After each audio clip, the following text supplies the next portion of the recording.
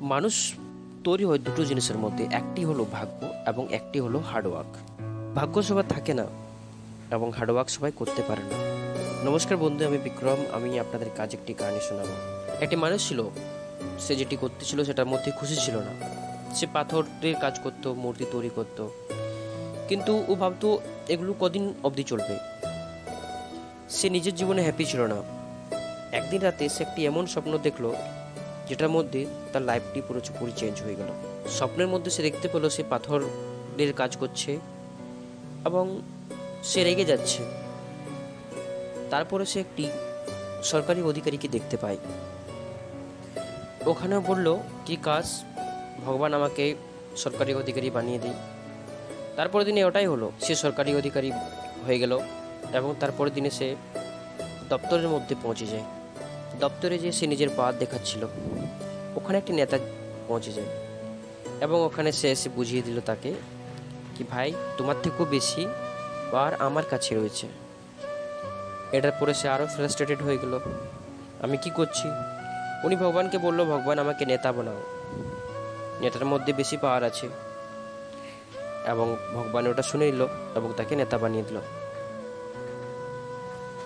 উনি যেখানে যাচ্ছিল ফুলের মালা তাকে পরা হচ্ছিল এবং উনি একটা স্টেজের মধ্যেও পৌঁছে যায়। সেখানে উনি স্পিচ দিলেন।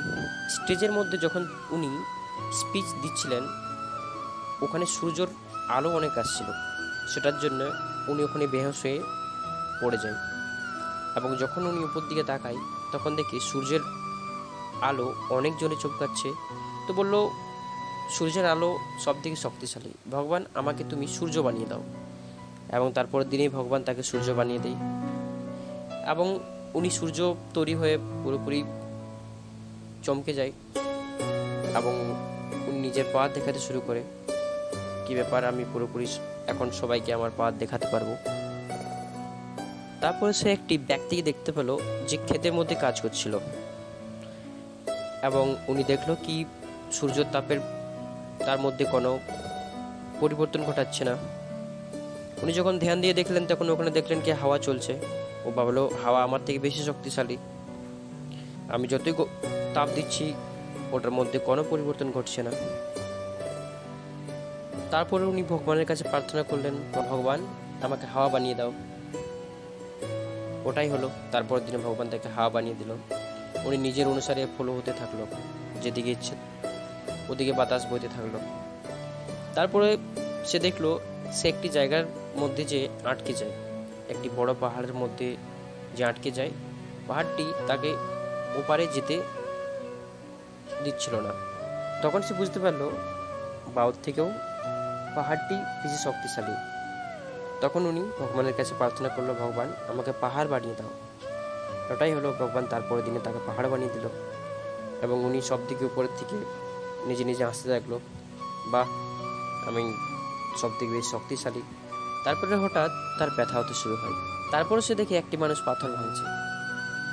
তখন সে ভাবলো, সব থেকে তো বেশি শক্তিশালী শিল্পকার যে পাথর তেড়ে মূর্তি তৈরি করে।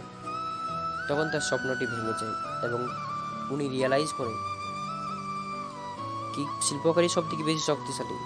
এবং যদি নিজের কাজ সব থেকে অনিষ্টির সঙ্গে করা হয়। তো জীবনে যেটি চাইবে, সেটিই পাবে। গল্পটি অনেক ছোট, কিন্তু কাহিনীটির মধ্যে এটা শেখানো হচ্ছে কি যে কাজটি আপনি করছেন, সেটি পুরোপুরি অনেস্টির সাথে করুন।